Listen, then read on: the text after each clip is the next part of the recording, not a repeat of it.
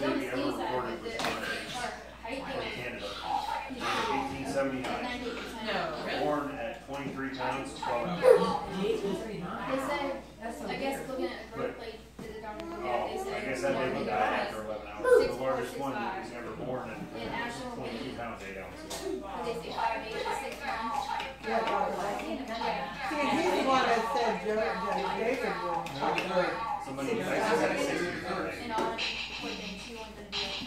three by four. Yeah, she's gonna call too.